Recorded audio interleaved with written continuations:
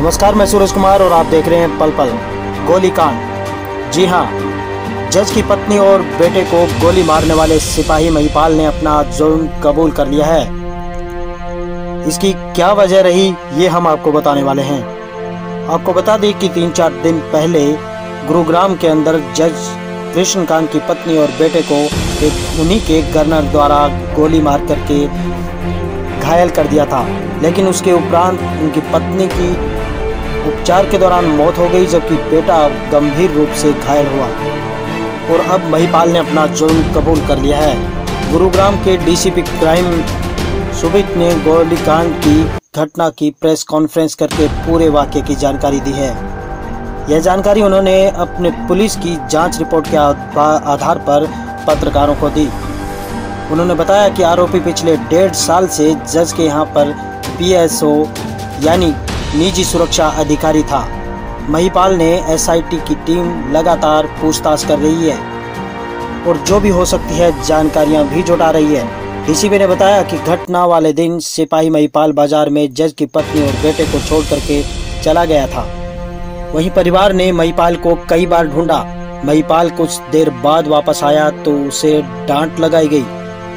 उसी दौरान उसने गुस्से में आकर के जज के परिवार पर हमला कर दिया।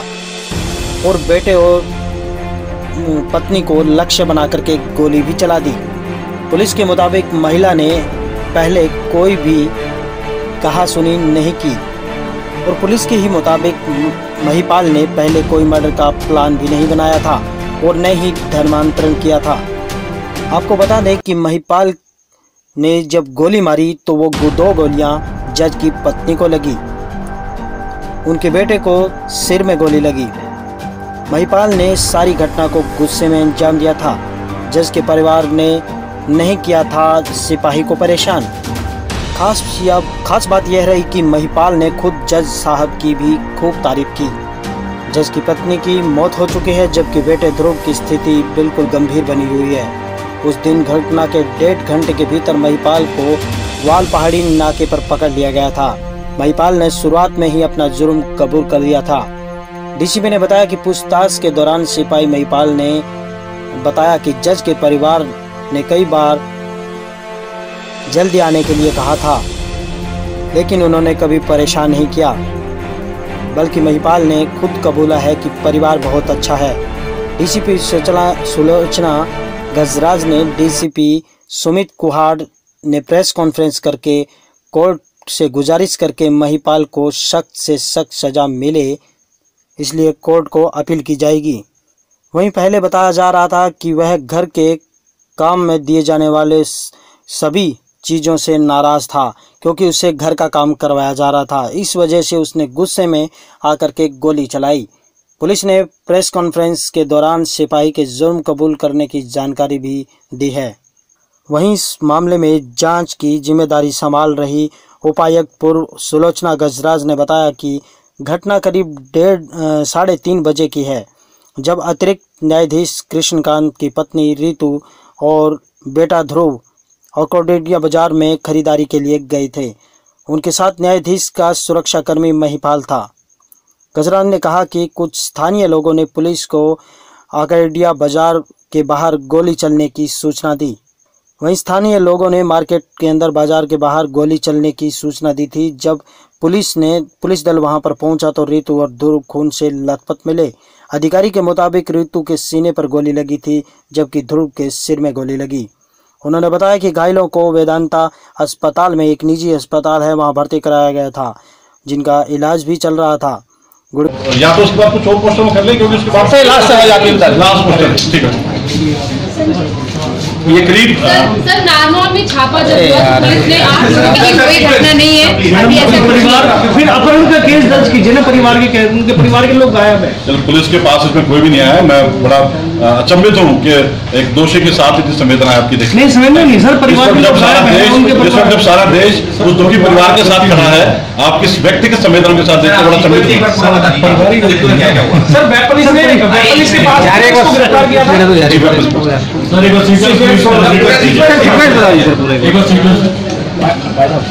ये तेरह तारीख को करीब तीन बीस और साढ़े तीन के करीब की घटना है। जब जो मैडम है, वो अपने बेटे के साथ महिपाल को साथ लेके मार्केट पहुँची और मार्केट में जाके उन्होंने अंदर से कुछ दुकान से कुछ सामान उठाना था, वो उठाने के उपरांत जब वापस आई हैं तो उस वक्त महिपाल वहाँ पे स्पॉट पे नहीं था। और उससे पहले भी उन्होंने जब दुकान के अंदर थी, महिपाल को स्पॉट करने की कोशिश की है, क्योंकि उस वक्त उसको साथ होना चाहिए था।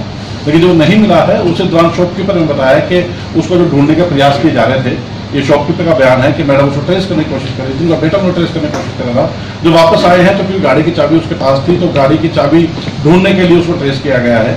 उस दौरान जब उसको जब मिला है, उसको फ़ोन किया गया है और फ़ोन करके जब वो आया है तो उसको जो भी कहा गया है, उसके आवेश के चलते उसे शायद बेटे ने कहा कि आप गाड़ी चाबी मुझे दे दीजिए उसके आवेश के चलते उसने बेटे के साथ मारपीट की और जब मैडम ने इंटरव्यू करने की कोशिश की तो वो इतना आवेश में आ गया कि उसने दोनों को गोले बसा सारा घटनाक्रम इस दस मिनट के अंदर का है।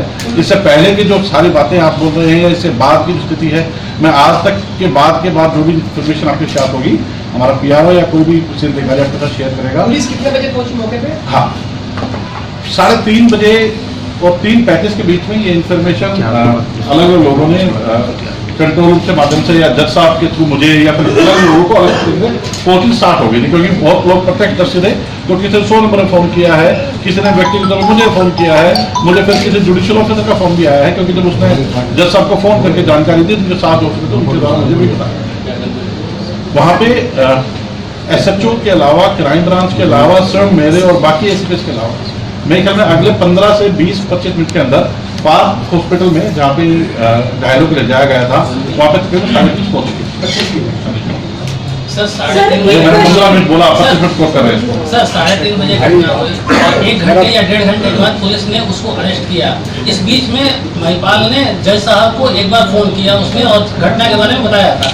इसके अलावा और किन किन लोगों से बातचीत हुई और उसका क्या कॉल डिटेल मैं मैं आपको फ़िलहाल ये कह सकता हूँ कि उसके द्वारा काफ़ी व्यक्तियों से दौरान बातचीत होती रही है। जहाँ पे उसने बीवी से बात भी की है। कुछ एक हमारे लोगों ने भी क्योंकि इनिशियली कंफर्म नहीं था कि आज अ, पे कौन है कौन नहीं हमारे लोगों द्वारा भी संपर्क करने की कोशिश की है। काफ़ी लोगों से बात हुई है। लेकिन जो इस केस से संबंधित जो लोग इम्पोर्टेंट हैं उनके बारे में आपसे बात करूँ तो उसने जज साहब से बात की उसने वाइफ से बात की उसने मामा के लड़के से बात की है। उनसे सभी से अलग अलग करके उसने यही बताया है कि मेरे मैंने काम कर दिया और दिस सिचुएशन और हम अपराध। सर वाइफ ने क्या बात महिपाल गनमैन है तो गाड़ी को चला रहा था?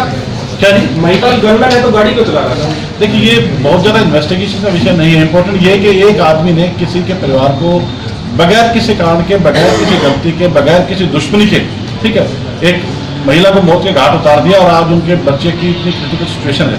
तो ये मेरी इन्वेस्टिगेशन विषय नहीं है जो आपको शक सर उसको अफसोस है। इंपॉर्टेंट यही कि उसको सजा मिले। नहीं इंपॉर्टेंट यही कि उसको सजा मिले। सर अफसोस है क्या उसे? सर उसका रिमांड दोबारा और एक्सटेंड किया जाएगा कल रिमांड करेंगे डिसाइड करेगी अभी तक इन्वेस्टिगेशन चल रही है। है। Thank you thank you thank you sir